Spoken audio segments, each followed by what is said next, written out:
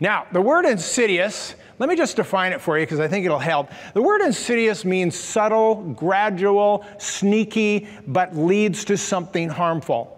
So, what can you think of that is gradual, subtle, sneaky, that leads to fear? And the answer would be worry. Worry is the insidious fear. We all worry at some point or another, and what we're going to discover today is that actually worry is the gateway to all fears. They be, sort of begins in, in worry. We have those things that get trapped in our head, and we start thinking about these things, and we have negative thoughts in our head, and of course it leads to anxieties and it leads to fear, and we're going to talk all about that today. And unless we're dishonest, every single one of us knows that we all fear and we all worry about something at some point in our life. It's sort of part of the human condition.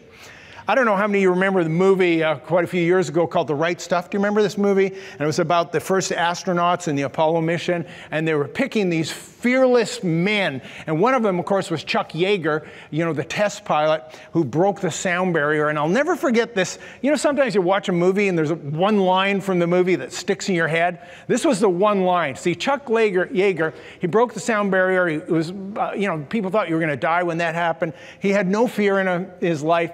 And there's a reporter asks the actor, Sam Shepard, who was playing Chuck Yeager, it says, Is there nothing in this world you fear?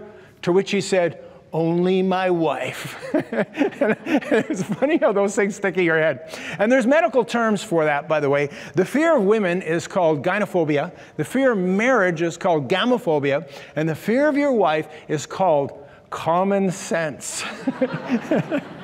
My God, I could teach you that kind of stuff.